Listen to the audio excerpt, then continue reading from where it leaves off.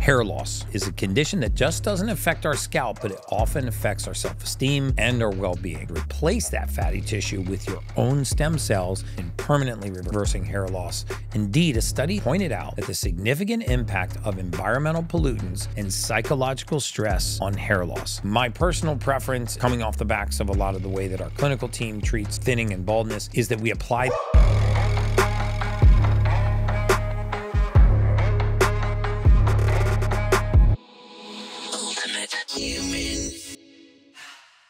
I might also add that I just did a podcast. You might want to find this podcast on YouTube, Spotify, or Apple with Dr. Chesnut.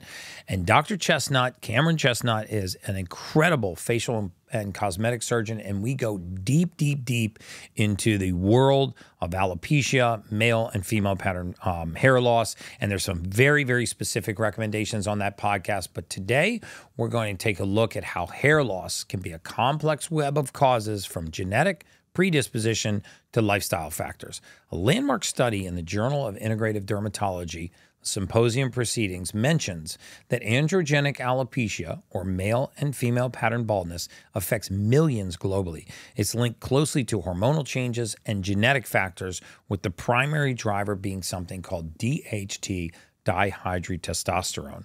But what about the environment we live in or the stresses we endure? Indeed, a study in the archives of dermato- dermatological research pointed out that the significant impact of environmental pollutants and psychological stress on hair loss. It's a clarion call for cleaner living and stress management. Nutritional aspects cannot be overstated. The American Journal of Clinical Dermatology has highlighted the correlation between specific nutrient deficiencies and hair loss. And as you know, I am an enormous fan of nutrient deficiencies in the human body as a starting place for the expression of disease and pathology. Lack of proteins, specifically amino acids, vitamin D, which is called cholecalciferol, specifically referring to vitamin D3, vitamins E, and essential fatty acids directly contribute to thinning of your mane.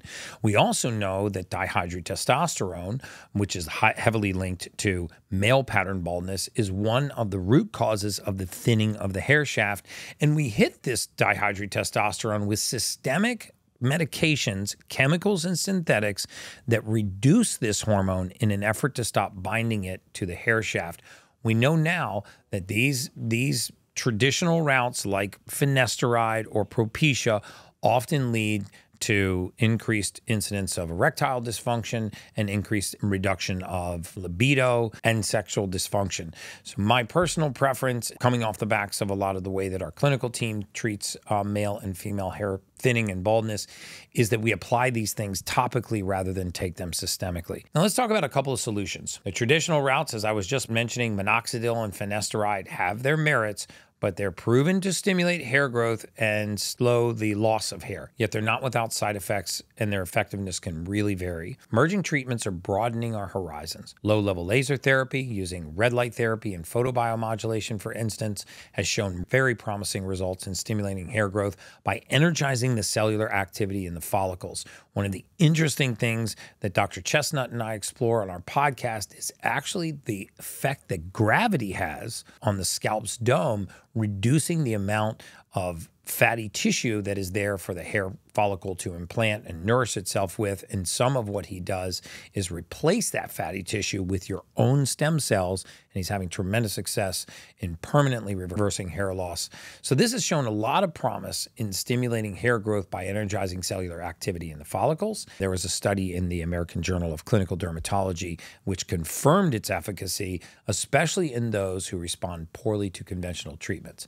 Let's not overlook the power of platelet rich plasma using our own platelets from our own body to heal our body. This is one of my favorite therapies because I love the fact that we can actually take all of the healing power of the human body and concentrate it in one area of the body so we can have a specific outcome. This is well documented in sports injuries, repetitive use injuries, but by using platelet rich plasma and harnessing the growth factors in your own blood, PRP injections have become a very sought after treatment for alopecia with multiple studies, including one in the Dermatologic Surgery Journal, showcasing significant hair regrowth in the participants that received platelet rich plasma injections directly into the scalp. So, male pattern baldness is something that's actually very near and dear to my heart. Um, I have been experiencing it for the last decade, decade and a half. And so, I've been deep down the rabbit hole of what we can do from a functional standpoint to really support hair growth. My own personal journey, I've used uh, topical exosomes, which are microneedled into the scalp and they are applied directly to the scalp. Exosomes are phenomenal. They are derived from stem cells. They are about 1 800th the size of a stem cell. So they actually get into tissues and areas much more easily than larger size molecules. They carry with them high molecular weight hyaluronic acid and growth factors. So there is an emerging body of evidence that says that topical exosomes, as well as topical platelet rich plasma, which is your own blood platelets, spun down and concentrated with growth factors re-injected into the scalp to sort of nutrify and help regrow hair.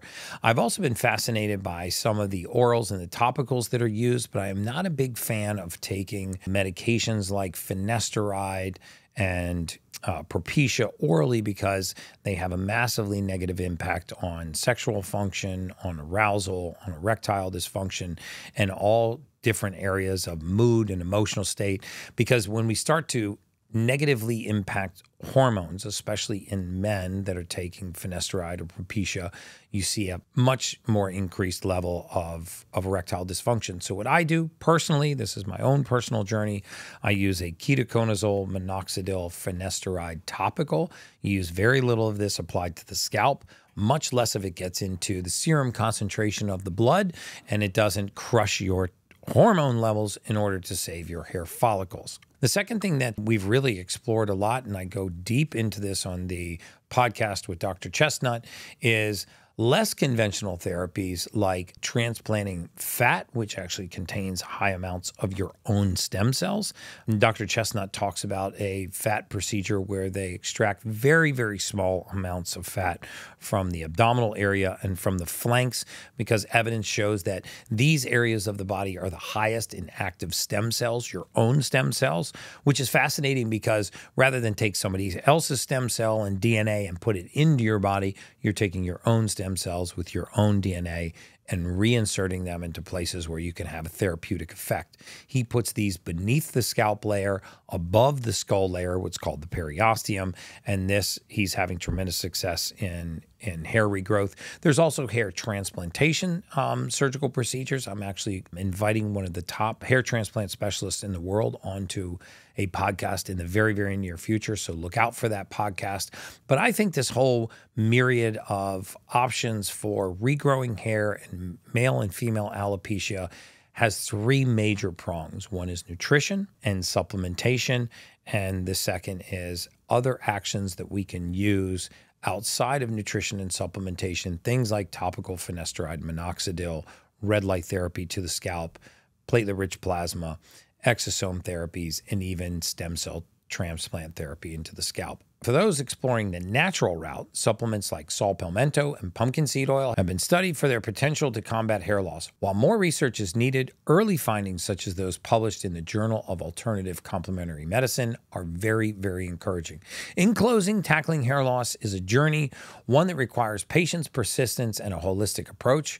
From cutting edge science to age old wisdom, the path to regrowth and recovery are many. But remember, consulting with a healthcare professional and experts in hair restoration can provide personalized guidance tailored to your unique situation.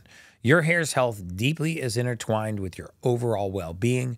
Nurture it, protect it, and when in doubt, reach out for help. Stay informed, stay healthy, and let's continue this journey together. Promise I'm going to remain diligent in this area and continue to bring experts onto the podcast in the area of male and female alopecia so that I can bring you practical solutions that will not break your budget for how you might be able to reverse your hair loss. If you're one of those sufferers just like me, I know how near and dear this is to your heart and how conscious you are of the top of your head. And that's just science.